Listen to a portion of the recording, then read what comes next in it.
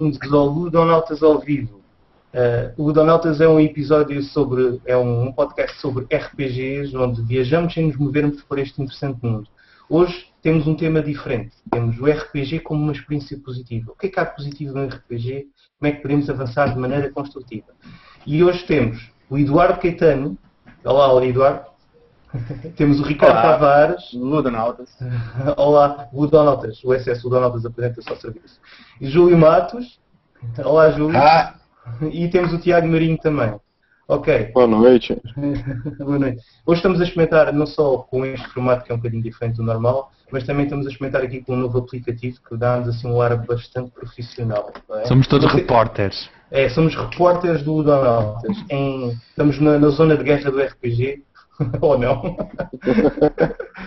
Pronto, então no primeiro segmento do, do Ludonautas uh, costumamos falar um pouco do que é que temos visto de interessante no, no mundo dos RPGs, quer seja na internet ou por, por outras andanças. Uh, gostava que vocês quisessem partilhar alguma novidade. No último episódio tivemos bastante exclusivos. Portanto, hoje enchem o Ludonautas de exclusivos que nós não importamos nada. Quem é que é que começar primeiro a dizer qualquer coisa que tenha visto aí de interessante? Querem começar pela ordem que temos aqui todos em baixo? Eduardo, o que é que tens? É a ordem de iniciativa. É, exato, a ordem de iniciativa. Normalmente começamos, costumamos lançar. Mas acho que o Eduardo tem uma novidade também de algo que, que, da sua criação que apareceu em PDF. Não foi, Eduardo? Minha? Qual? Não sei, ouvi dizer que um RPG que foste autor, que agora já há numa versão em PDF. Ah, bom, é verdade. É, é, é, eu vou me ater então ao jabá pessoal, porque existe um monte de novidade legal aí no, na, na, cena, mas a Secular acabou de, de, começar a disponibilizar o PDF do Valentina, que até então o PDF final, original do, do jogo, era disponível apenas para quem participou da campanha de incentivo coletivo. Aí agora a gente está disponibilizando para venda a partir de R$ 9,90 uh, até 10 de julho, se não me engano, preço promocional de. Pois olha, eu, eu gostava de dizer quanto é que isso é em euros, mas não tenho mesmo a ideia. Uns três. Desliga o é telefone, é muito... não quer... agora não podes, a tua vida está ligada aqui, Donatas, agora não podes atender nada. É, acabei de desligar. Acabei de desligar. Isto é logo assim, é logo assim. Olá, Olha, afinal temos a Ana. Olá Ana, tudo bem? Bem-vindo ao Ludonautas. Olha, já estamos a emitir ao vivo, está bem? Que uh, lá. Uh, sim, isto é um aplicativo que a gente estamos a usar, se conseguires usar melhor, bem? Eu consigo, lá, eu consigo usar, consigo ver-vos, mas custou. Foi, ficar um quest, tive que subir level up. Vamos ver se não aparece aqui ainda mais gente, que não sei porque agora no Donotas sem querer houve o convite, então aparece toda a gente, não sei porque do RPG, vamos ver se... se começar a aparecer toda a gente de. Pronto, de travestis ou de strip, aí podes começar a preocupar, enquanto for gente do RPG estás bem. É até eu descobri o botão de expulsar, descobri o botão de expulsar, está tudo bem. Isso é fácil, levantas-te, viras ao contrário, baixas as calças e garantes que expulsas toda a gente. Muito bem, estava mesmo a sentir a tua falta. Bem-vinda. Ricardo, então. Uh, acho que. Uh, bom, eu vou aproveitar para uh, chamar a atenção que já saiu os, o episódio 10 do Mais RPG, já tem dois dígitos. Um, um, dos participantes está mesmo aqui com, connosco, o, o Júlio Matos, mas também o Tiago Akbar, tem que falar muito sobre ficção científica, que acho que era um, é sempre aquele tema que não se vê muitas vezes abordados só raramente em alguns podcasts é que se vê falar sobre RPGs e ficção científica, por isso fica essa chamada de atenção. Já sabem que o endereço é. Não está aqui o Marcos Silva para fazer publicidade. pois eu, eu, ia dizer ao, eu ia dizer ao Eduardo que se formos nós a fazer publicidade aos outros não tem mal nenhum. É mesmo assim. É, funciona melhor assim. Mas vão a maisrpg.wordpress.com e dar os parabéns ao Marcos Silva pela, pela sua participação uh, neste, neste, mundo de podcast que está cada vez a ficar mais forte. Ok, ok. E Ju, o que é que tu gostavas de partilhar connosco? Não, eu quero lembrar o, o, pessoal que vai ter aqui em Porto Alegre esse final de semana um evento que já está ficando bastante clássico aqui, que se chama RPG for Noobs, né? E eles estão começando, uh, eles vão testar, eu acredito que é a primeira vez a, a promoção que a Retropunk está colocando à disposição de todo mundo que quiser fazer pequenos eventos no Brasil, uh, de que ela concede percentuais de desconto para todos os participantes. Né? Ela decidiu, é uma ideia que eu estava uh, trabalhando um pouco lá no meu blog de que a galera que pedia muito livro de brinde e tal, e aí ficava meio pesado para a editora porque era muito evento pequeno. Nos eventos grandes até ela consegue comparecer com, com, mais, com mais presença assim, de, de CD livros. E aí eles criaram essa. bichinho ali. uh, eles criaram essa, esse sistema. Acho que vale a pena a galera que, que faz evento local aí, dá uma olhada lá no site da Retropunk. Eu não estou ganhando nenhum bônus por isso, mas uh, acho que vale a pena porque dá uma empolgada na galera de receber aí um desconto caso queira adquirir seus livros, né? E dá uma incentivada Dá para ganhar dinheiro no RPG também? Pois é, porque, é, elas disseram, eles, eles disseram o seguinte: a, a quem está organizando o evento ganha também desconto para adquirir um livro, ganha bônus para adquirir um livro para depois sortear para os seus participantes do evento. Então, acho que é uma ideia que a gente tem que divulgar e principalmente testar, né? Ver se vai sim, ser sim, uma sim. coisa legal. Sim, sim. Eu não sei se eles estendem até aí o outro lado do Atlântico também. Aí teria que perguntar lá para o Guilherme da Retropunk. Já, já, já, já falámos sobre isso. Acho que a maior dificuldade é enviar o, o material. É, porque, é, o custo de envio, né? Porque das coisas que eu encomendei já da Retropunk, eu tenho, tenho Terra Devastada, do João Gogeia, e acabou por custar um pouco mais o envio. E então, uh, uh, como custou mais o envio, uh, talvez tenha que se dar essa diferença, mesmo que se queira ter o brinde, é complicado Sim. de outra maneira. Mas, Mas de qualquer forma, entrem lá, porque eu acho que a iniciativa é bem legal. Se funcionar, outras editoras também provavelmente vão adotar. Ok, ok. Falando de, de, de os custos que traz publicar no RPG e falando também nos dinheiros, o dinheiro que há para ir para gastar no RPG, Tiago, falando assim, tem algumas novidades que tenhas do Secular Games ou do, do, do que tu quiseres. Pois é, a gente tá traduzindo Dungeon World, nem eu tô traduzindo Dungeon World, que yeah! essa tá yeah! montando aqui no meu trabalho, é um absurdo. E, a gente, eu tô tentando descobrir aí a, as discussões de termos, né? É, eu não sei o que eu vou fazer, não. Ah, tem uma galera muito chata. gente reclamando do português brasileiro e, e, português de Portugal, né? Tô perdido. Agradar todo mundo vai ser terrível. Não, isso é, é uma discussão que vai sempre é. ter a discussão acerca da tradução para os termos em português é sempre eterna, enfim. Ah, mas é sempre divertido. Eu gosto de. É, é bom você ver a opinião dos outros, porque muita referência que a gente não pega, alguém vai acabar pegando e te falando, sabe? Então é, é bom demais. É, fora isso, a gente tem mais umas duas licenças aí que a gente ainda vai lançar. Tem novidade boa no segundo semestre. É, e... Alguma coisa que possas dizer? Alguma coisa que possas dizer? Não, eu não sei falar, o Rocha vai me bater, velho. é, ele não está aqui também, ele também não vai ver isso, portanto. Ele é pequeno, mas, mas tem, invocado. Tem autores brasileiros aí que, que a gente vai publicar que já, tá, já foi anunciado, não? Rapaz. O, o, por exemplo, o Fio. O Fio. O Fio. Maldita criatura. Malditas criaturas. Esse, aliás, foi um dos meus jogos favoritos do primeiro concurso do, da Secular.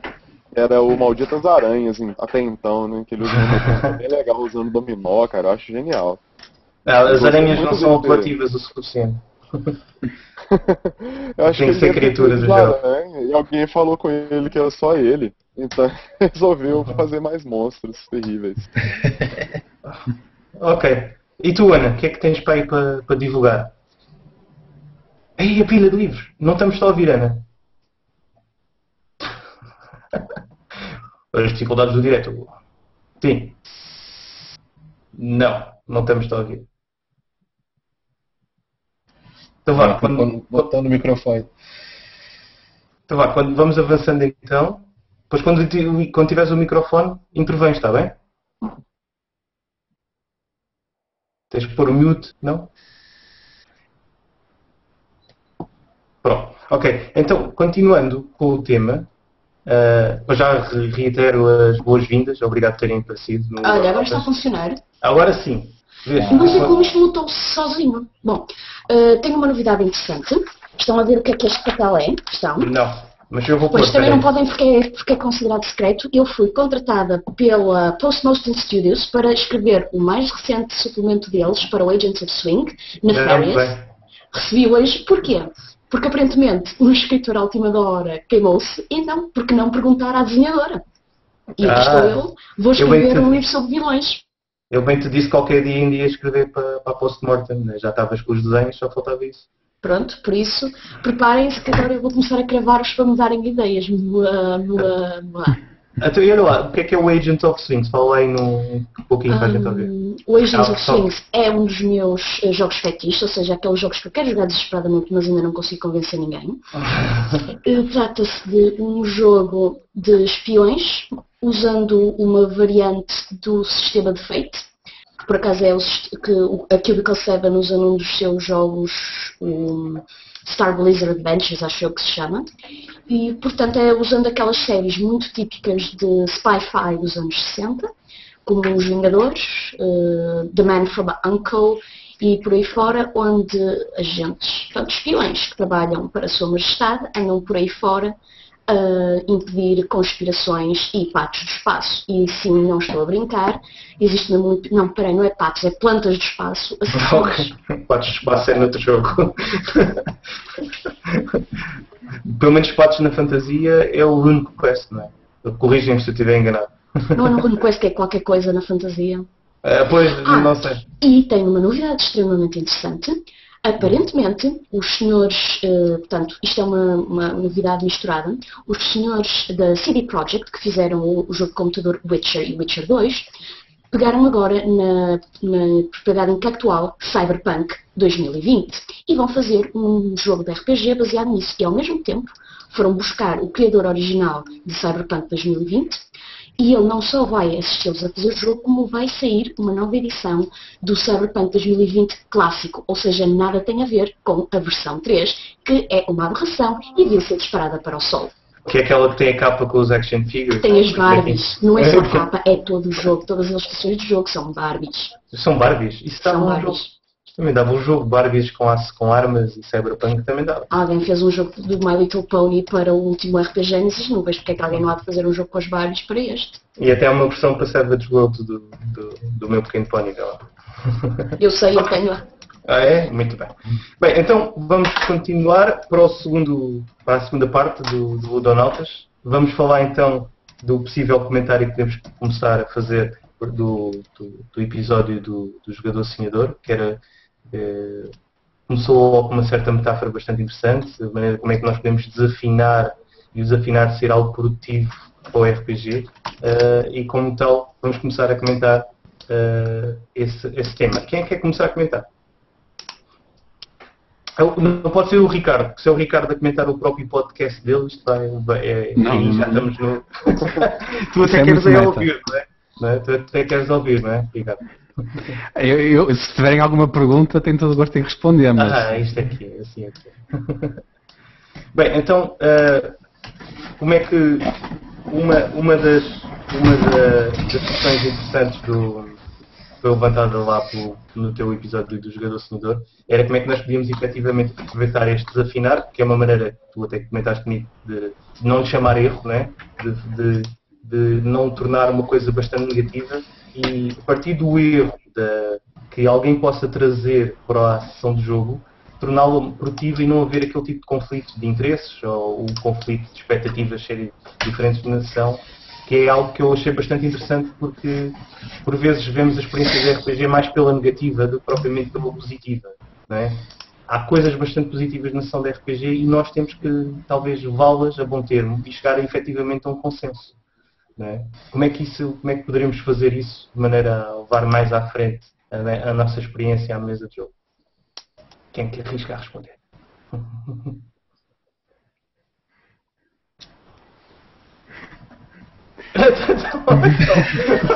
Caralho!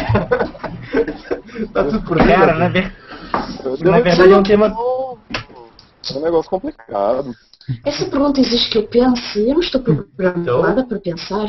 Não, Daisy, Daisy, Daisy. Há quem diga, há quem diga que, que a conversa franca antes da sessão, em tentar conciliar o máximo possível das expectativas, uh, ter uma verdadeira conversa acerca do que é que se quer jogar, não, não só necessariamente escolher o jogo, mas escolher como se quer jogar, que tipo de história que se quer jogar uh, o modo como é que interagimos com as regras ou como é que estamos em oposição entre nós, é a melhor maneira de avançarmos essa agenda do grupo. Uh, por vezes o que me acontecia nas minhas sessões é que toda a gente não queria só uma, uma história de ação e de combate, queria uma história de intriga. Mas no fundo não sabiam bem o que, é que era uma história de intriga em RPG e acabavam por jogar a história Essa era a intriga. A intriga era o quê? Qual é que era a intriga? De não saber qual era a intriga. Ah, é? Bem, está uma situação bastante confusa. Especialmente quando se queria jogar uma impressão... Eu tive uma impressão do episódio do, do Jogador Sonhador de que existia uma, uma coisa ali que era meio, meio pós início de sessão, meio que uma solução, é, eu não vou dizer que é uma crítica, mas uma, uma, uma solução uh, pós Ron Edwards, assim. Uhum. Uh, você, vocês não estabeleceram uma agenda criativa e vocês estão jogando como potencializar essa experiência, né?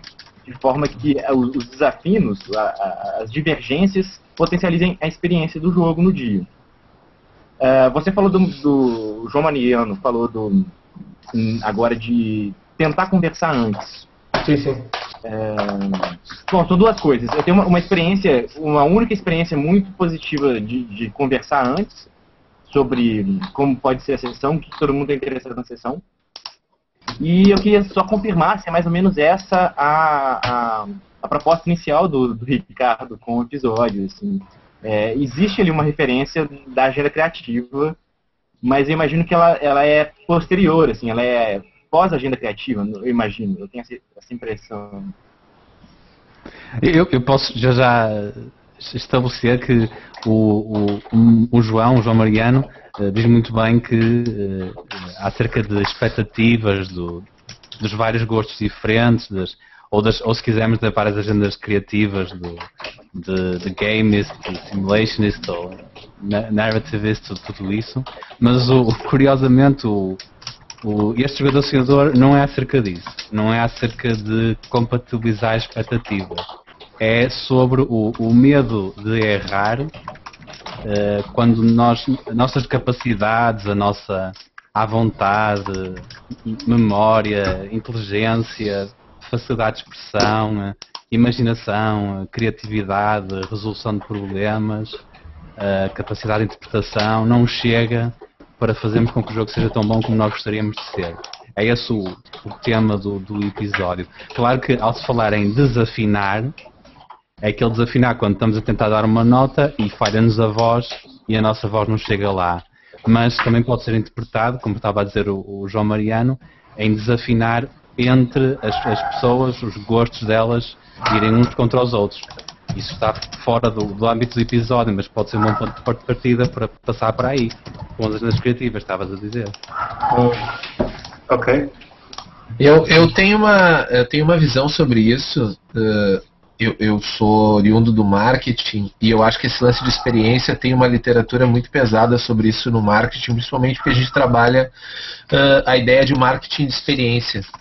Uh, e, e, o lance da experiência é mais ou menos uh, uh, exatamente isso que ele falou. Tu, tu, inicia qualquer tipo de evento, qualquer coisa, sem uma noção muito concreta do que, que vai acontecer em seguida, qual é a, a, a resultante daquele evento quanto a, a, experiência que eu tenho é quanto mais simples for uh, a proposta, né? Quando eu disseste intriga, na verdade tu deixou meio é um termo complexo. Intriga é uma coisa complexa de tu chegar a uma definição uh, completa do que vem a ser. Mas quando tu coloca Uh, essa questão da intriga. Ah, é intriga num determinado espaço, numa determinada lógica, com uma determinada situação.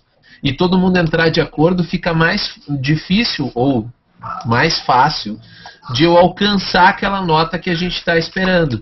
E principalmente, uh, combinar se essa realmente é a experiência que a gente quer, se a gente conseguir simplificar ela para que todos entendam. Porque nos jogos que eu jogava, principalmente, que, que me parecia? Que os jogadores entravam com uma expectativa sobre aquela experiência e o mestre talvez com outra diferente, mas ele tinha muito poder de manipular essa experiência, porque ele acabava sendo dono do jogo, né? O, o mestre, como num jogo mais gameista, assim, para citar, já que o, o Eduardo trouxe o Isso aí, né? Ele é que trouxe o Ron Edwards.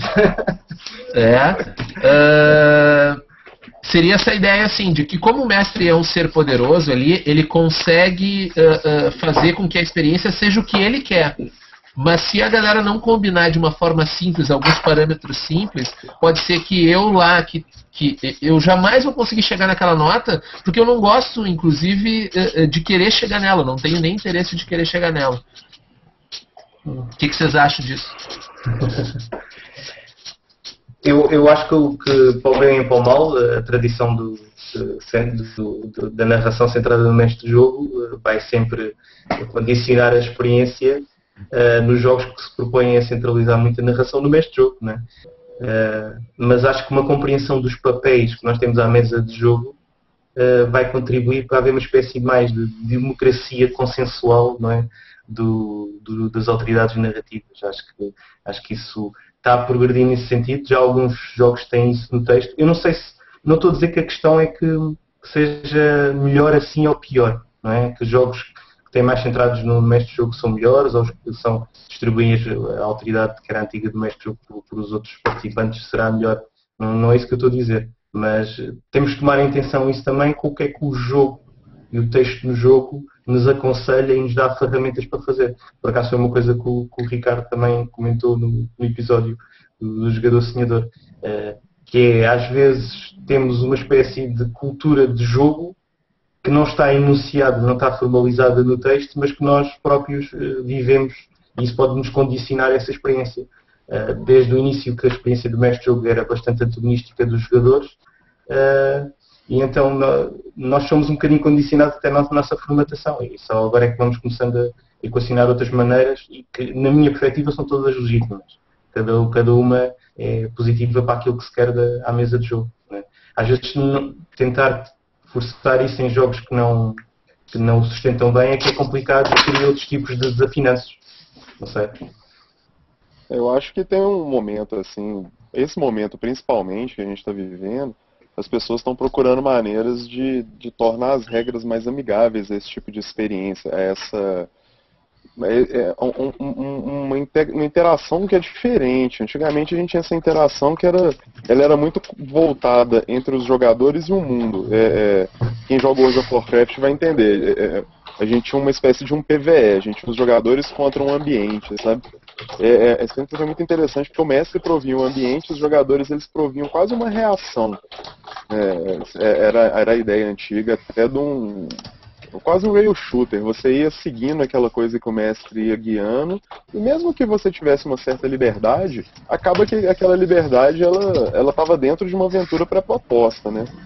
É, hoje a ideia está é, muito forte, ela, eu, vejo ela muito forte, principalmente no Fate, de você fazer com que todas as pessoas participem e que é, a história acabe sendo moldada de certa forma para o gosto de todo mundo. Então eu coloquei um, um, um se eu coloco um aspecto, por exemplo, de briga e um outro colega coloca um aspecto de romance, é, nós estamos indicando o que, que a gente quer. Então em algum momento ele vai ter que ter o romance dele, eu vou ter que ter minha briga. E é legal quando uma, o grupo consegue colocar isso tudo junto tá rolando um, um quebra-pau numa taverna e o cara tá cortejando uma, uma, uma dama ali, enquanto ele tá brigando com a espada com a outra mão. Então é, eu acho que isso acaba criando uma, um, um, laço entre as pessoas que. Eu não sei, eu, eu acho que essa, essa, essa, vontade que você tem de participar, ela aumenta e acaba te recompensando de uma forma diferente. Eu, particularmente, gosto muito dos RPGs antigos, né? É, dessa experiência do mestre e tudo. Mas eu acho muito interessante essa experiência nova e cada vez mais eles estão inventando. O Apocalipse World mesmo, cara, né, do qual o Dungeon hoje é derivado, tudo, ele tem uma, toda uma experiência até da, do seu, da sua falha, você poder definir a falha ou o mestre poder definir a falha, dependendo do movimento que você usou. Então eu acho que você vai buscando uma interação entre as pessoas exatamente para buscar essa experiência positiva. Hoje, já que né, essa aventura às vezes não está te agradando, mas você tem uma ferramenta para que ela te agrade um pouco mais, mas sem ferir até a diversão de seus amigos. Né? Então, tem, acho que mais ou menos nessa, nessa área que a gente está indo hoje em dia.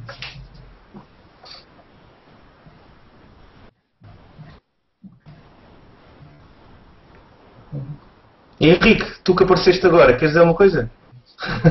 Eu, Testa. Teste, fala, fala. Não tens aqui o nosso, a nossa listazinha espetacular. Uh, não consegui encontrar a, a aplicação. Uh, Ok, eu faz estou ainda um bocadinho caído de paraquedas, portanto o tema ainda me ainda me deixa um bocadinho confuso e como estava com as dificuldades de tentar pôr o Getalk a funcionar, parece que estava a dar erros, ainda estou um bocadinho caído de paraquedas. Eu- agora corrijam-me se eu estiver errado, estavam a falar da, da, da, da- um bocadinho da mudança de paradigma entre, entre a autoridade do mestre de jogo nestes novos jogos que vão aparecendo a ser partilhada entre os jogadores, ou seja, é poder narrativo. Sim, que sim, quer dizer, acabámos por, acabámos por ir nesse sentido, acho que até fui eu que introduzi. E como nisso muda um bocadinho a experiência, pode ser mais construtivo ou não, não é? Por acaso era isso que estávamos a falar. Sim. Eu, eh, ahm, o, pouco que tenho a dizer sobre isso ahm, eh, tem a ver um bocado com a, com a- com a minha experiência de fiasco nestes últimos encontros mensais que temos feito aqui em termos de roleplayers de Lisboa. E algumas coisas, eu, eu li outro dia, alguns eu não, não exatamente todo, mas acho que foi num, num blog qualquer na onda do Story Games e que hum, eu acho que é um artigo chamado qualquer coisa uh, Our Table is Round e bom, já não lembro, eu já encontro o link e se calhar já ponho. Mas tinha a ver com um, com uh, num jogo em que não há mestre de jogo, e isso foi uma ideia que me agradou muito, num jogo em que não há mestre de jogo, uh, toda a gente na mesa sente o jogo como seu, ou seja, um, não há uma pessoa que seja uh, dona do, do jogo, do, do que vai acontecer. Não há aquela, aquele- aquela pessoa que teve duas semanas a preparar uh, o jogo e tem ali já uma cena bué planeada e vai acontecer assim e vai acontecer assado e, e, e, portanto, nós, os outros jogadores, deixamos-nos ir um, um bocadinho em função dessa promessa, promessa de que algo vai acontecer. E portanto, às vezes somos mais espectadores do que propriamente intervenientes. E, e às tantas, eh, já não se era um artigo de blog ou se era um podcast, o, o, o blogger dizia que num, num jogo sem mestre de jogo onde não há nada pré- pré-planeado, eh, é ótimo porque toda a gente sente, sente, sente o direito e, e a, e a capacidade de, de, de mandar as suas ideias e, e a contribuição é de todos e, e eu acho que gera-se outra sinergia e, e- e pronto, é um bocado nesse, nesse, nesse tema é, o- é um bocado o que a última coisa em que Então achas, achas que o sentido, o sentido de propriedade é que anda a estragar isto tudo? o jogo é meu. achas que isso é que está a criar uma experiência mais É assim, agora, agora eu vou ter altamente discordar com isso, sobretudo como alguém que já experimentou no campo, como muitas vezes dar demasiado poder aos jogadores, eles próprios não o querem, e é por isso que jogos como, por exemplo, uh, Houses of the Blooded, onde os jogadores determinam uh, o destino dos personagens em muitas formas, em- empanca muitos jogadores. Porque há aqueles jogadores que simplesmente querem jogar o, um, a interpretação do papel. E eu realmente reparei numa coisa, sobretudo nos que seguem o, portanto, o santo culto de Roniano, que eh, há uma certa pênis Portanto, nós somos jogadores, mas como o mestre jogo tem poder sobre a história, nós também o queremos. E eu tenho certeza que há muitos jogadores assim, não há nada de mal com isso. Mas a questão é que há muitos jogadores que são ao contrário, e eu sou uma dessas, muitos dos jogadores com quem eu jogo são iguais. Não há nada de mal em querer deixar o mestre de jogo tomar controle total da história, deixando o controle das personagens nas mãos dos jogadores. E não penso que seja essa distinção que torna os jogos menos positivos. Eu não acho que é necessário eh, fazer- simplificar as coisas de tal forma em que todos os jogos vão funcionar bem se os jogadores tiverem os mesmos direitos. É simplesmente uma, uma situação que difere de jogador para jogador. E eu pessoalmente, se me dizem "Ah, isto vai correr bem se eu tiver o poder, eu vou dizer não, não tenho. Quero lá saber do poder. Eu tenho poder sobre a minha personagem é isso que me interessa. Se eu quiser ter poder sobre a história, eu vou mostrar. Eu acho que a gente tem um- uma distinção hoje muito forte entre jogos que são voltados para a história, os story games mesmo, e aqueles que são voltados para o R, para o roleplay mesmo do seu personagem. É, é interessante você falar isso exatamente porque tem, tem gente que gosta de interpretar o seu personagem. Eu, eu, não tenho vontade, às vezes, de criar uma história. Eu quero só ser um, um personagem naquela história. E isso é muito legal. É, eu gosto muito de interpretar aquele papel e forçar a, a, aquele personagem meu ou a crescer ou a cumprir um objetivo. É, mas eu, a impressão que eu tenho é que a gente está buscando é, esse momento que está passando desse é, esse empowerment dos jogadores que ele começou ali no D20. É, eu acho que é uma busca que as pessoas estão fazendo por, por, uma, por uma outra experiência. Desculpa, é, qual eu não D20? sei se quando começou o D20, o D&D terceira edição, né? Permite-me então foi questionar isso, mas eu diria que já no tempo do 7C eh, iniciou-se esse, esse empoderamento dos jogadores com os chamados Drama Dice, que permitiam, entre outras coisas, se gastos, impedir a morte de um jogador. Portanto, eu penso que esse terá sido provavelmente dos primeiros jogos, ou pelo menos não- mainstream ones, que terão começado a trazer isso. Mas a ideia do, empo- do empoderamento, ela é uma de você poder bater boca com. é, em teoria, você poder bater boca com o mestre. Você, enquanto você. O o- o D&D terceira edição, ele te deu uma regra que ela é, ela é absoluta. O meu personagem vai bater e vai ganhar esse bônus. É, é- é mais ou menos a, a ideia de você ter o controle total do seu personagem. Nesse caso tínhamos o World of Darkness, que em troca de um, um, portanto, um ponto de willpower, automaticamente havia sucesso. A ação não podia falhar de forma alguma. Isso já estaria a dar eh, poder total ao jogador. E isso, essa regra existia desde 96, que foi quando a terceira sucesso- edição surgiu. Mas o sucesso, ele é a interpretação do mestre. O seu Não, não, sucesso não é interpretado pelo seu willpower. Eu, eu- tipo assim, vamos supor, eu tentei pular. Beleza, você pulou. Mas como você só teve um sucesso, então é você. é, eu gosto dos jogos onde tem essa, essa, essa liberdade até pro mestre poder trabalhar. O seu, o seu resultado, até o seu fracasso, o seu sucesso, pode ser trabalhados por ele. Mas é, em teoria hoje é, é, tem um interesse em fazer com que você trabalhe o seu sucesso. É, é, Eu acho que existe uma percepção disso como uma coisa muito positiva, mas ao mesmo tempo isso que você falou, tem gente que não está querendo criar uma história, tem gente que está querendo jogar o seu personagem. Então a eu não questão- sei até que ponto a gente está evoluindo ou se a gente só está mudando. Mas se calhar avançando, mas se calhar avançando, avançando, se calhar, porque isto foi só uma questão que eu abordei até queria, estava a abordar marginalmente. Não quero me prender na, na autoridade narrativa, do, que se deve ou não deve haver autoridade narrativa centrada do, do mestre jogo. Também há outras questões que nós podemos falar eh, em transformar a experiência mais positiva no, no RPG. Por exemplo, uma das questões que, que, que foi abordada foi as próprias expectativas criadas pelo texto de jogo e até que ponto é que o texto de jogo é em si uma boa ferramenta para se jogar aquele jogo. Se não poderia haver textos melhores ou eh, jogos de RPG muito mais bem feitos para a experiência de, do RPG ser mais positiva ainda. Por exemplo, foi um, do- dos temas que também foram abordados no episódio do, do, do Ricardo. Ricardo, queres explicar isso um bocadinho melhor nas tuas palavras?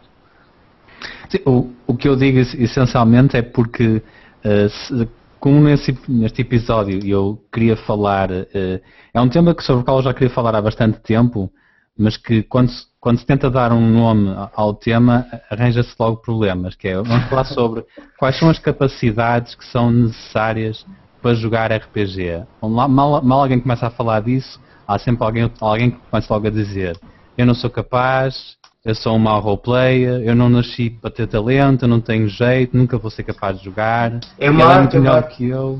Exato. Ou eh, É eles são muito melhores do que eu e por isso é que eles, eles é que podem jogar, porque eles são muito melhores e eu nunca vou conseguir.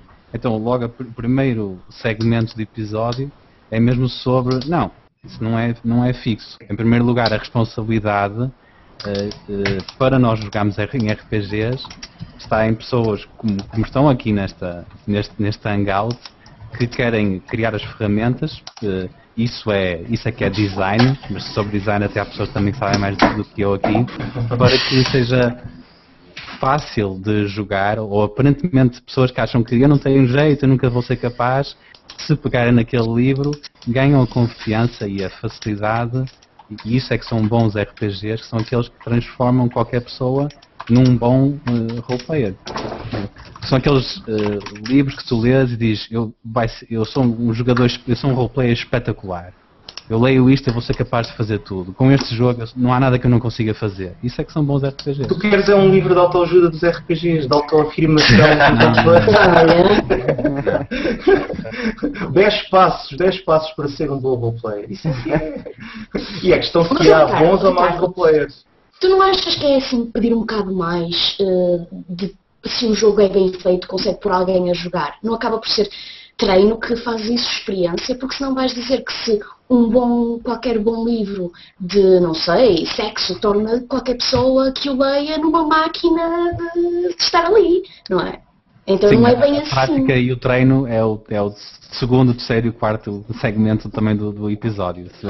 É, mas eu acho, eu acho que um livro bem escrito ele, ele queima etapas assim. É como eu, como eu falei uma experiência bem proposta ela queima etapas. É, é, se tu consegue preparar bem o, o talvez o mestre para fazer ou os jogadores e eles entendem a proposta de uma forma mais completa se essa proposta de certa forma for simples e ela for mais completa no sentido de entender é mais fácil tu alcançar o, o, o que o que tu espera do jogo Acho que nisso a gente ainda está tentando evoluir, uh, exatamente porque eu vejo jogos que eram bastante centrados no mestre, com, com, o livro fala muito pouco o que, que o mestre precisa fazer, como ele precisa agir, uh, ele centra no, de tu ter uma regra para quando existir um conflito. Mas e antes de existir o conflito, como é que o, o, RPG vai andar? Que eu acho que é um pouco daquela coisa que o, que o Ricardo tentou falar sobre a transição regra. Uh, Ficção. Ficção, exatamente. Que o, o, o, os livros, eles têm uma tendência ao seguinte, ele te dá um cenário, como o Tiago falou, ah, ele te dá um ambiente onde tu vai estar, né? E ele te dá uma regra caso aconteça alguma coisa que tu não precise uh, resolver só trocando uma ideia, conversando com as pessoas. Mas e se não acontecer nenhuma coisa que precise? O que, que eu faço nesse meio tempo? Que é um pouco do que a Ana falou. Diz, ah, eu sou um personagem, eu tenho uma expectativa mas eu dentro do jogo eu não sei o que, que essa minha expectativa vai ter lá dentro para mim colocar lá dentro da história. Eu acho que aí é que está a chave do, do, do, que o livro precisa te ajudar também a saber, bom, se não há nenhum conflito, o que, que eu tenho que ir fazendo e como eu posso ir fazendo isso? Uh, uma das questões também foi abordada uh, até nos comentários do, do fórum do Aboard Games, do RPG Chat, era uh, uma questão que tem a ver um pouco com o que tu estás a dizer, que é a situação de expectativas do, do, de, das, dos grupos de RPG às vezes chocam de si. Pode ser outro tipo de expectativa, até pode ser o, o comportamento, a maneira de estar à mesa. E isso cria um problema, como tu estás a dizer. E, e, e a maioria das vezes, como é que se resolve esse problema? Muda-se de grupo de jogo. Então, a, a... Laranja mecânica brainwashing, resulta sempre. O quê? Fazer lavagem cerebral? Sem dúvida. Mas isso. Há jogos para isso. Quem chama-se Fatal? Não, não chama-se Fatal. Não. Não, pelo amor de Deus. Não, não citem esse nome. Não, não, não. É o citou. A questão é. é como Estás a ver? Reação para a Bobliana. Terror absoluto. Não, há coisas piores. Uh, não, não. Há. Fatal não. não. Piores que Fatal não. Uh, Só considerem questão... o, RPG do Eclipse. Da Twilight, o Crepúsculo. Ah, isso, é o, isso é o Monster Hearts. Ah, é não, o Monster Hearts é bem. Não me digas mal do Monster Hearts. Não, não, pelo contrário. Uh, não, a questão é uh, não haver já ferramentas ou técnicas ou coisas que nós possamos usar preceitos para não deixar as coisas chegarem a essa situação. Pode ser isto que eu estou a dizer a nível de, de atitude em mesa de jogo, pode ser até durante a história para não deixar a história quebrar. Mas a questão é, há de haver sempre problemas. Nós não podemos fugir aos problemas, temos que os enfrentar. Não é? E se estamos ou não mais preparados para isso. Eu também não sei se os manuais de RPG têm que ter aquela, aquilo que eu estava a brincar com o Ricardo, que é, têm que ter todos os princípios de autoajuda e de psicologia humana para podermos lidar com, com as pessoas. Nós presumimos que estamos a jogar com pessoas maduras, pessoas conscientes, que sabem conversar e conciliar as agendas. Posso ser assim um bocado uh, má e dizer, mas não. então isto, cala-te, Uh, isto vai ser como as instruções no café do McDonald's que diz atenção está quente. Então, ah, tipo, os RPGs podem incluir as instruções para como lidar com pessoas. Isso não faz parte do skill set de um ser humano mais ou menos normal? Tipo, já saber como lidar com pessoas difíceis, com violência, é, por exemplo, como eu resolvo tudo. Ontem, ontem a gente estava conversando sobre isso, até casualmente eu, eu e Eduardo, exatamente essa coisa do, do de tu quando tu escreve o RPG, por exemplo, te colocando na, na, posição, tu nunca sabe o que, que vai acontecer lá na mesa do cara, né? Como que ele vai receber. E eu vejo muito, uh, uh, até pegando o gancho da música que o Ricardo colocou, uh, o mestre, não interessa até se, se ele é se o mestre é uma figura uh, uh, até participativa, no caso, porque os outros jogadores também têm possibilidade de uh, fazer, ele é meio que maestro daquele negócio. Ele vai, ele marca o tom da, da aventura, porque no final tem que ter uma arbitragem, né, para ela andar. Ele marca o uhum. tom dessa aventura.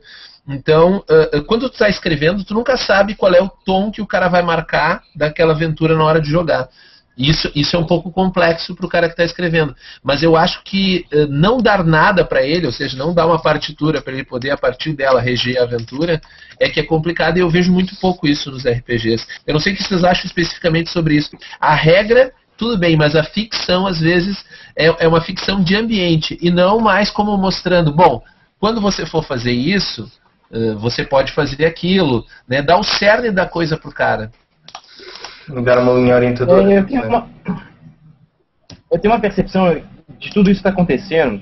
Eu não sei se vai ilustrar de alguma forma, mas eu vejo uma responsabilidade grande, assim, é, em cima do objeto do livro, do livro de RPG, como um, um responsável muito grande é, nessa discussão que a gente está tendo. Assim. Para ilustrar isso, é, tem uma anedota assim, de que uma vez eu estava com, com, com uns amigos que já estavam né, mais por dentro dessa discussão de narrativista e tal. E a gente encontrou com uma galera muito fã de D&D e sentou numa mesa de bar para discutir. E quando a gente começou a falar desses jogos novos, que eles precisavam conhecer, que era muito legal e tal, a gente ficou cerca de quatro horas na mesa de bar tentando explicar para eles, assim, é, um, esses jogos mais simulacionistas, eles são muito legais. Assim, não existe um problema com isso. Mas existem jogos, o grande problema nesse caso, que existiria ali, é, porque a discussão era assim, ah, não, mas eu posso fazer um jogo interpretativo em D&D. Claro que você pode. Eu posso uh, ter drama e chorar emo de emoção por uma experiência que eu tive numa mesa de D&D. Claro que você pode. O problema, assim... O Também pode usar uma, um martelo para meter um parafuso para dentro, por esse argumento. De dor. Assim, usar uma... É, que, inclusive, que, que inclusive a, a metáfora e, e, que, o, que o Ricardo usou no, no podcast, né? De, a, pra, a, a ferramenta para a coisa certa. Uhum. O grande problema ali no caso que a gente estava a gente estava apontando é, é que não é que o jogo é errado ou certo ou que existe uma forma é, né uma forma correta de jogar ou não mas o jogo ele não te diz que você pode fazer isso e ele não não te uh, materializa te materializa isso em formas de regras ou mecânicas. Porque se é, no final das contas, é um jogo, né? Existe um sistema de, um sistema de regras, uma, uma série de mecânicas. É, e o que começa a se discutir hoje, que a gente está tentando apontar, é justamente isso. Esses jogos, eles estão uh, tentando te mostrar como alcançar isso através de regras. Assim. O, então, existe uma responsabilidade do, do, objeto, e é aí que eu vejo que existem uh, livros de RPG que são sublimes, assim, que são, é, se me permitem, obras de arte, e eles evidenciam isso. É, como é, potencializar esse tipo de experiência que você está querendo ter. Então, é, voltando lá no começo da, da questão do, da agenda ou do, da, da conversa, é, se a gente está alinhado que a gente quer contar um certo tipo de história, e aí vai a, a, a referência à metáfora do, do podcast, vai escolher o livro ou o jogo, né, aquele, aquele arcabouço de ferramentas que vai te permitir ter esse tipo de experiência. E isso é muito recente, assim, é. Eu acho que perceber isso ainda é difícil para grande, sei lá, para grande maioria. Assim. É, então, o que eu quero dizer com isso tudo é, o seguinte: existe, existe uma certa responsabilidade do objeto livro, do, do jogo, né, do, do, do, do livro de RPG, assim. nem da experiência, porque a gente não, cons não consegue. É, falar nisso, Monster Hearts é derivado de, se não me engano, de Apocalypse World. Apocalypse né? World. Sim, sim. Mais um hack. Depois de The World vai ser o próximo, hein? Você teve, né, Thiago? Você tá com ele aí, né? Eu tô com ele aqui na mão. Vou, vou ficar Ah, com ainda ele não tenho no coração. É, A Ana vai buscar Mas eu acho que é isso, assim. Eu acho que tem uma certa responsabilidade em cima desse livro aí, por exemplo. Né? Ele vai te dizer como jogar esse livro. Já, já agora sobre, sobre isso, eh, uma questão para, para todos que quiser- quiserem, por falar no Apocalypse World, eu estive recente, eu li o, o Monster Heart por recomendação da, da Iana. Isso porque também- eu não me calava até a vou ler. Sim, e também. E por causa disso também estive a reler o Apocalypse World. O Vincent Baker no, no Apocalypse World, nós ah, acho que eh, todos nós aqui somos, nem que sejam um bocadinho fãs do, do Vincent Baker. Ah, mas ele usa um, um tom no livro do Apocalypse World que muitas vezes muita gente critica, que a, a solução dele para aquilo que o Eduardo estava a dizer é mesmo dirigir-se ao mestre do jogo, falar para ele como se estivesse à beira dele e, e ele chega a dizer, ele chega a dizer ao mestre do jogo, tu não vais preparar nada para a ação. Ele diz, diz isso mesmo assim, não vais preparar nada. E, e chega a dizer mesmo, eu estou a falar a sério, não estou a brincar. É que não vais me preparar nada, ele diz assim diretamente. O E usa uma chamado Jedi linguagem. Hand Trick. Tipo, Não, não, nem é, nem é isso. Ele sim. usa uma linguagem muito forte para eh, impor e di- dirigir e dar uma série de princípios e eh, acho mas de- ele está a falar como este jogo com um cão. por Para outro lado. baixo, para baixo, rapaz. Por outro, por outro lado, há mon- muitos outros autores que preferem a ideia de dar liberdade ao, ao mestre jogo para ele fazer o que quiser e então levá-lo a fazer mestrar de uma certa forma, eh, um pouco como o Luke Crane e o, e o Jared Sorensen dizem, game design is mind control. Criar assim uma estrutura de regras se tudo estiver encaixado, o mestre jogo vai se ver levado a fazer aquilo como o designer, como o autor acha que é, que é melhor. Quais é que vocês preferem? A atitude de dizer diretamente ou a mais estruturada, mais Se mind algum control? jogador se virasse para mim e me começasse a dizer tu não vais fazer isto, eu primeiro dava-lhe com uma cadeira na cabeça e Sim? Morto ou reno? estava a dizer, se o jogador chegasse para mim e dissesse tu não vais fazer isto, eu dava-lhe com uma cadeira na cabeça. Ah, é? Era assim que Pronto. eu- Entendi. É assim que os mantenho na linha. Ah, é? Não, mas a sério, desculpem lá. Jogador Eh, ou autor? Os dois, Eu tiver eu, francamente, eh, com o- Portanto, ok, eu não odeio o Vincent Baker como odeio o Ron Edwards, mas às vezes ele também diz cada uma que só, só lá para mesmo. Porque, francamente, é assim, tudo bem. Eu sou a favor de igualdade entre os jogadores e mestre de jogo, se bem que eu não vou começar com a grande discussão de que os jogadores são controladores absolutos de um mundo, os mestres de jogo são do outro, porque senão ficamos aqui até amanhã. Mas a questão é esta, ninguém manda ninguém fazer outra coisa fora de jogo. Portanto, um jogador não tem o direito de se virar fora de jogo e de olhar para o mestre e dizer tu vais fazer isto porque eu digo que sim, nem o mestre jogo vai dizer tu vais fazer o teu personagem fazer isto. Portanto, não venham com Mas coisas. aqui estamos a falar dos livros, não das pessoas. Está bem, os livros é a mesma coisa. Pronto. Nenhum livro se vira para o mestre de jogo e, e diz tu não vais preparar assim. A não ser que seja regras duras e que pronto, aí sim todo o sistema está baseado nisso.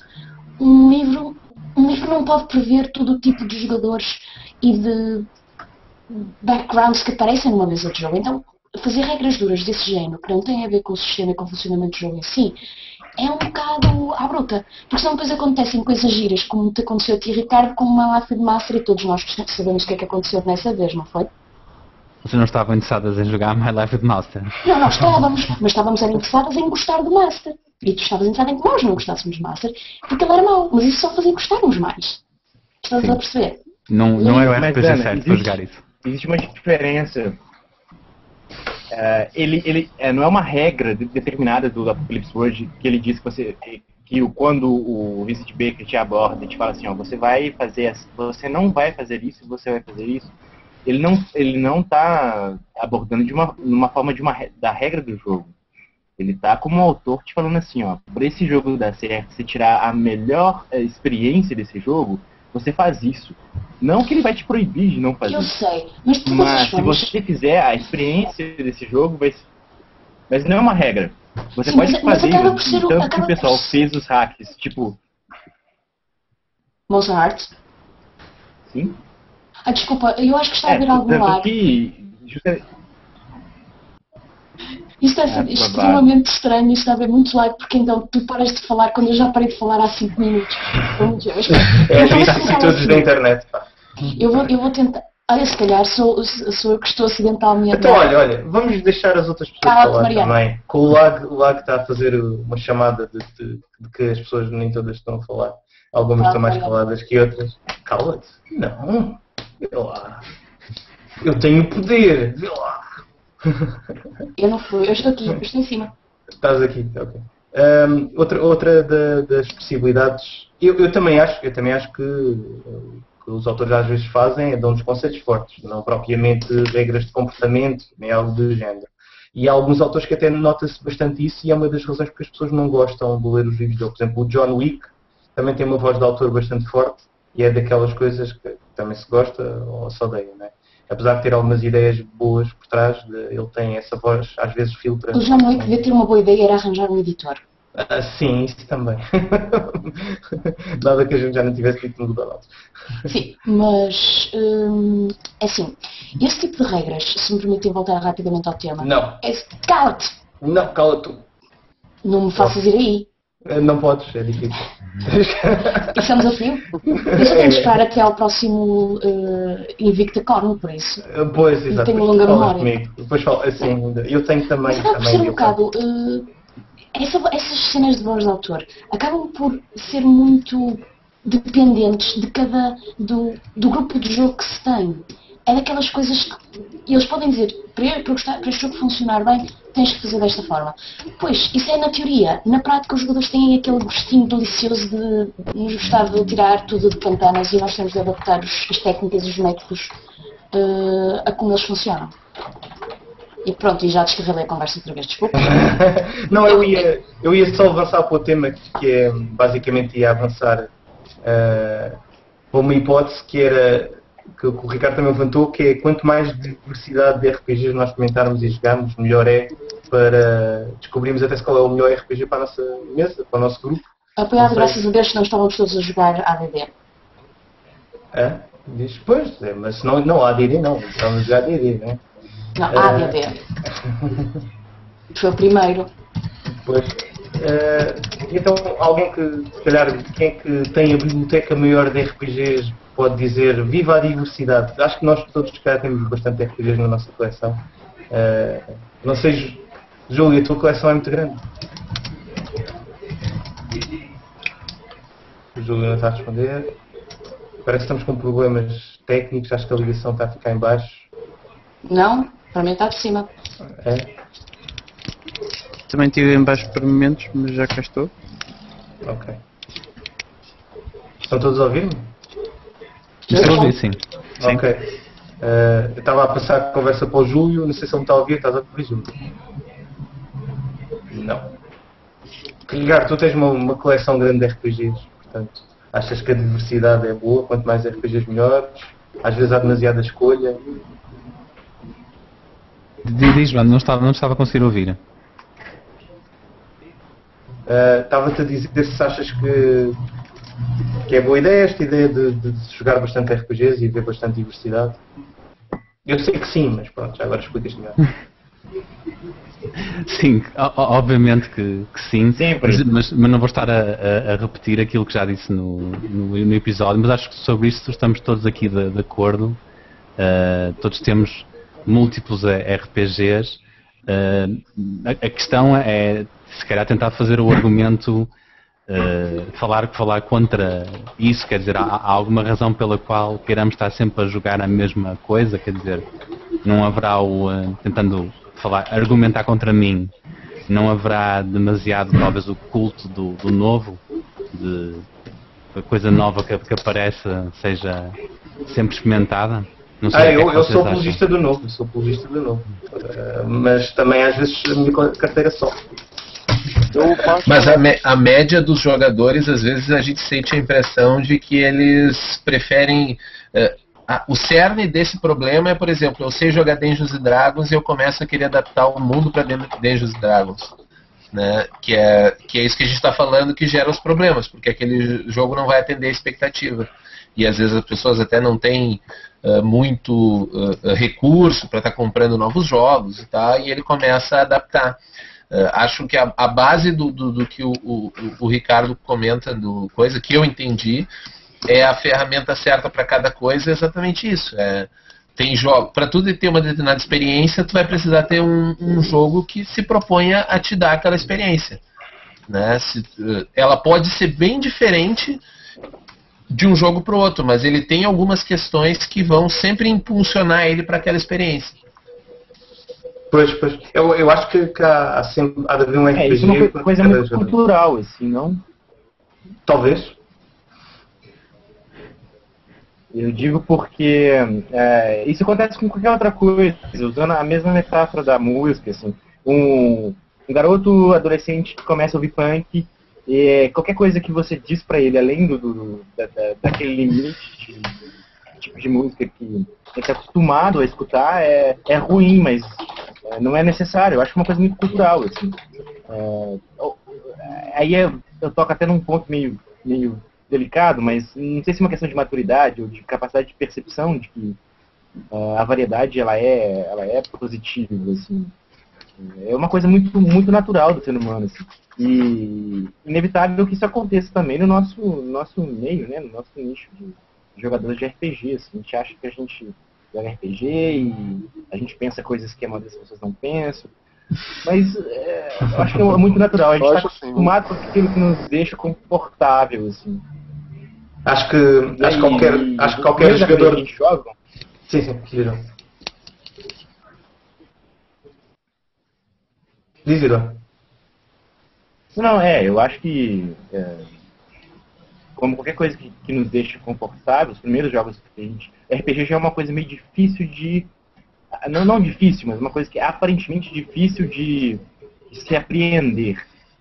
Então a primeira experiência que a gente tem, ah, consegui lidar com isso, ultrapassei essa etapa, joguei um RPG, não é tão difícil quanto, quanto parece. Uh, essa primeira experiência, a gente vai ter ela enraizada na gente como uma coisa uh, não definitiva, mas muito consolidada. E é natural que com o tempo a gente tenha resistência, a princípio, de experimentar coisas novas. Né? Não sei. Sim, sim, eu, eu acho que eventualmente tentamos coisas diferentes, não só dentro, às vezes, do universo do jogo, como também procurar outros outro jogos. Não. Não? Porquê? Não, ah, não estamos a ouvir. Sim. Não te conseguimos ouvir nada, nada, nada. Nada? Não estás-me a ouvir? Não? Então. Bem, então, como isto também estamos com algumas dificuldades. Calma, Mariana. Não, agora vou falar. Estás-me a ouvir? Hein? Eu estou a ouvir, mas ele está a tentar falar. Quem é que está a tentar falar? Bem, estava, estava a dizer, um, estava a dizer, uh, também já estamos perto de, de uma hora, quase de uma hora, uh, e então, uh, se calhar vamos, não há conclusão para este tema, este tema é construtivo, talvez tenha sido um bocadinho caótico com as entradas e saídas, houve aqui uma dificuldade técnica. Oh, Mariano? Sim? Eu acho que tu mutaste o Tiago Fernandes, porque ele está a falar e tu estás a par por cima dele. Ele estava a falar, eu estava a ouvi-lo, mas tu não estavas a reagir a ele falar. Ah, não sei, não sei o que é que se passa, tenho que ver isso. Uh, mas vou só, íamos só para as despedidas finais, já que estamos perto do, de uma hora de, de emissão ao vivo. O, o é. João Bogéia só pediu pra gente, eh, pra vocês dizerem do que, que se trata o Monster Hearts, que ele não conhece. Twilight. não é Twilight, nada. Uh, nós já falamos nisso no último Donotas, mas uh, de, o pitch. Uh, não me convidaram. A proposta, a proposta é que hum, basicamente é uma versão do Apocalypse World, tal como o Dungeon World também é uma versão, só que joga-se com uma espécie de, com aquela ideia dos adolescentes que podem tornar-se monstros sobrenaturais, mas ao mesmo tempo estão confusos com a sua identidade sexual. E então é, é sobre, isso que é uma cidade. Há quem diga que é o Twilight feito bem, ou o Crepúsculo feito bem. Portanto, é essa a questão. Um, Bem, então vamos falar, vamos acabar por aqui, se calhar uh, vamos fazer uh, as despedidas, se calhar falar um, um, um bocado dos vossos projetos que é que queiram iniciar, apesar que já fizemos isso na primeira parte também. Portanto, uh, Tiago, Tiago está aqui tão caladinho. Tiago. Opa. nós, nós sabemos que tu estás aí, não? já acordaste? É, não, eu tô, eu tô, tô, tô, tentando absorver, assim, mesmo, o que a turma tá falando. Eu Tá penso... Sim. Eu, um como, eu como uma dessas pessoas... Hã? Um último pensamento, vá. Pois é, eu acho que todo mundo tem que testar mesmo coisas novas pra ver qual que é a experiência que vai te agradar mais, né? E Uhum. principalmente experimenta coisa que você. Às vezes você joga fantasia, tenta ficção científica, tenta outros cenários, outros sistemas. Uma hora você vai, mesmo que você não adote, com certeza vai aprender mais uma coisa pra você levar pra sua mesa. né? Acho que é positiva essa mensagem da diversidade. Ok, Júlio, qual é a tua mensagem positiva? É, dizer que a pessoa não tem que se prender ao jogo em- com que ela aprendeu a jogar, que ela tem que experimentar o máximo possível, eh, criar bastante, né? Acho que o- a, a maior graça do RPG não é só jogar, mas inventar coisas em cima deles e mexer e de- tentar alcançar a melhor experiência que o teu grupo quiser e, e se propor a encontrar. E enquanto não encontrar o jogo, vai testando outros, até conseguir achar aquele que melhor se adapte à tua experiência que tu pretende. Ok, ok. E Ricardo, o que é que dizes de tua justiça? Eh, Eu queria dizer às pessoas que, como habitual, podem sempre contar com qualquer uma das pessoas que, esteja, que está aqui neste Hangout para qualquer ajuda que, que necessitem, que não é assim uma coisa tão complicada. Eh, nunca foi jogar eh, RPGs, que é mais uma questão de, se calhar, timidez ou eh, medo de alguma coisa que, na verdade, medo do desconhecido, acho que é, é, é só isso que facilmente se, se ultrapassa calhar estamos, estão, em vez de estarmos todos a olhar uns para os outros à espera de dar o primeiro passo, vamos todos confiar que se- seguimos em frente e eh, para aquilo que necessitamos, contamos uns com os outros, somos capazes de, de tudo. Nos RPGs e não só, mas Ah, é a mensagem positiva. Depois mensagem positiva. Trabalho cooperativo. E tu, Eduardo, o que é que queres, o que é que queres dizer de tua despedida? Mensagem positiva. Sejam todos independentes. Bom, eu acredito que. Sejamos todos diferentes. Eu acredito que ah, o RPG é um tipo de jogo, já tem um tempo aí que ele existe, e eu acho que é mais recente ah, o momento em que a gente está discutindo como explorar as, as potencialidades desse tipo de jogo. assim. E hoje em dia a gente tem vários jogos que exploram várias dessas, muito poucas. É, então, se você tem interesse de contar um tipo de história específico, ou de um tipo de experiência acerca de um tipo de história, crie seu próprio jogo, é, experimente, não tenha receio, igual todo mundo já falou, alguma coisa semelhante. É, e se você é, procure alguns jogos que provavelmente também é, existam, é, provavelmente existe algum jogo que supre essa necessidade. Então, eu acho que é meio por aí, assim. Ah, a gente está começando. Esse Hangout, por exemplo, é um exemplo disso. A gente está começando a discutir essas outras possibilidades que esse jogo que a gente conhecia até então eh, permitia, e agora a gente pode. A gente está mais, ah, com mais liberdade para explorar essas novas possibilidades. Então, acho que não tem por que ter receio, vamos explorar as possibilidades a fundo. assim. Fazer coisas bizarras, estranhas, que não deem certo, mas pelo menos a gente sabe que não vai dar certo. Pois é, hoje, hoje, hoje para a segunda experiência do, do transmissão do Google Hangout ao vivo, isto foi assim um mega caos, eh, porque não sei como, o convite foi para mais pessoas, depois começaram a entrar e sair, portanto ainda estamos a aprender a usar também esta ferramenta, houve uns sons cruzados, um lag, toda a gente sai e entra, mas é, é pensar no futuro e pensar em fazer sempre as coisas melhor eh, e não ver assim as pessoas também não podem ir logo com uma perspectiva bastante crítica antes sequer de experimentarem as coisas diferentes. Né? Tem que, e não podem julgar à partida logo que as coisas não funcionam. Né? Ana, queres dizer alguma coisa da tua justiça? Pá, eu e coisas positivas, é difícil. Tu vais conseguir. Pronto, ok. O, eh, o Alan no, no YouTube comentou que eh, quer que a Ana seja sempre presença fixa no, no Melonautas. Sim, Tá porque eu bem, preciso sempre sei alguém lá. para dizer caralhadas, não é? Hum, não, mas acabaste de Bem, aqui. eu não podia deixar acabar o, o podcast sem dizer um palavrão. Eu sou do Norte, caralho. Muito bem. É obrigatório. Há sempre alguém mais a norte. Há sempre alguém mais a norte. Exato. Não. E Os- trago o Bruno. Ah, peraí, o Bruno é dos Açores, apesar de estar no imagina os vikings. Se aparecer aqui alguém da Suécia ou da Finlândia aqui neste podcast, é um espetáculo. Se nós conseguimos um sueco a falar em português aqui, ele pode dizer todos os palavrões que, que ele quiser. Já nem precisamos de mais gente. Basta aparecer o sueco. Mas estavas a dizer igual. Bom, eu estava a dizer que pá, isto RPGs novos é como levar injeções. São coisas do diabo. Não, dói ao princípio, mas no final depois é para teu bem. Ou isso, ou quem te está a dar a injeção é um sacana do caraças. Pode Muito bom, muito bom. Essa foi a melhor definição que eu vi na vida de RPG novo. Temos que escrever isso ao algum lado. É, muito bom, muito bom. É assim, Tem que botar comi- no show notes ali, RPG que nem injeção. tanta- Eu comi muito chocolate. Eu, eu comi muito chocolate. Portanto, é RPGs perigoso. novos. Olha, tu és tu com o chocolate, o Eduardo com o vinho, pá, isto- eu só comi um café, portanto estou mais calmo. Eu tomei muito café mais cedo. é. Bem, Eu tô no vinho to- também. Ah, ok, não estou a ver. Há coisas Eu que não preciso eu aqui, tenho um chá. Vais tomar uma caneca de chá.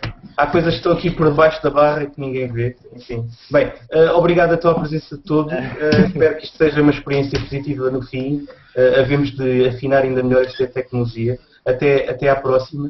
Eh, e espero que tenham gostado. Ok? Então, Muito obrigado, adeus, digam adeus. Eu agora vou carregar no botão que diz terminar sessão e se isto acontecer no- como na última vez, vamos ficar sem imagem de repente. Vá. Adeus. tchau, tchau. Tchau. Tchau.